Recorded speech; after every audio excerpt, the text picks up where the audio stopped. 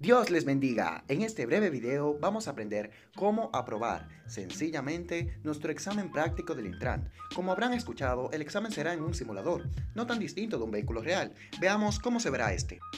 En este video te voy a explicar cómo es explícitamente el circuito que tenemos que realizar y cómo lo vas a pasar sencillito. Quédate aquí para verlo. Datos generales. En este examen encontraremos un sistema de calificación por puntos. Si llegamos a completar todo el circuito, obtendremos un total de 11 puntos. ¿Y cómo se ganan estos puntos? Básicamente, conseguimos un punto por cada obstáculo o acción que realizamos de manera correcta, entre las que tenemos usar las luces direccionales en el momento indicado, ceder el paso a un vehículo, rebasar correctamente, detenerse en el semáforo cuando está rojo o estacionarse. Cabe destacar que hay cuatro faltas graves las cuales si cometemos alguna reprobaremos el examen. Primero, no abrocharnos el cinturón de seguridad. Segundo, atropellar a alguien. Tercero, chocar el vehículo. Cuarto, no cumplir con la cantidad de puntos establecida.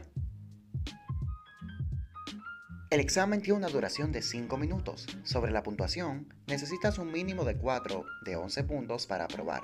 Entonces, ¿qué pasa si no completo todo el circuito? Básicamente, el examen concluirá y bastará con tener más de 4 puntos o 4, aunque no hayas llegado hasta el final. Así que te aconsejo que no vayas tan rápido, respira, ora y todo estará bien pues es bien fácil. Recuerda que el examen es un simulador y aunque en un momento se puede sentir un poco distinto o incómodo a como estamos acostumbrados en un carro normal, no es tan diferente. Por tanto, tranquilo, Recuerda que este tutorial es para vehículos de transmisión automática categoría 2. A continuación, veremos cómo será el examen en una manera gráfica. Básicamente, así se estará viendo el simulador. Nosotros iniciaremos en una especie de parqueo. Les recuerdo que deben tener puesto su cinturón de seguridad, así que no vayas a olvidarlo. Recuerda que una vez te hayas puesto el cinturón de seguridad, lo siguiente que queda es encender el vehículo. Luego de haber puesto el vehículo en drive o conducir, tendremos que girar hacia la izquierda, recordando en todo momento poner nuestras direccionales. Luego, tras avanzar unos cuantos metros en línea recta, nos encontraremos con una rotonda, donde tendremos que ceder el paso al vehículo que se encuentra con preferencia. Una vez haya pasado el vehículo, ponemos nuestras direccionales y entramos a nuestro carril derecho en la rotonda. Recuerden siempre ir con calma, mejor tarde que nunca. Cuando terminemos este segundo punto del examen, estaremos en una calle recta, donde adelante nos toparemos con un ciclista a lo cual tendremos que rebasar sí o sí, y lo haremos poniendo nuestras direccionales hacia la izquierda, viendo que no viene nadie, y luego, tras cruzarlo, ponerla hacia la derecha para reintegrarnos en el carril. Unos metros más adelante nos encontraremos con una niña jugando a la pelota, así que es mejor que vayas a eso de 35, no te vayas matándote, para que puedas frenar y no la mates. Luego, creo que tendrás que hacer una izquierda, poniendo tus luces, y llegarás a un semáforo, donde no te vayas a ir en rojo, espera mejor que cambie y que vuelva a ponerse verde.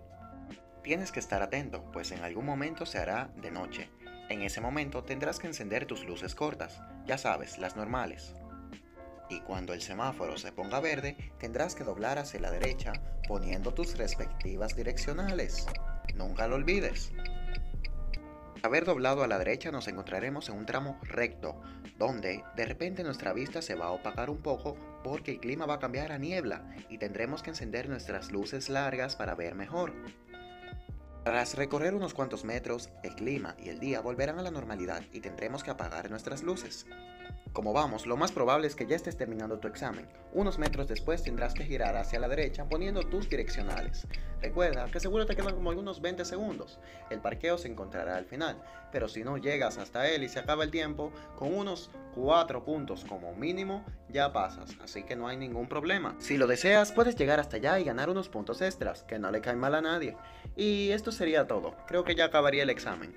Si te ha servido este video o crees que alguien más lo necesita, recuerda darle like y compartirlo. Dios te bendiga.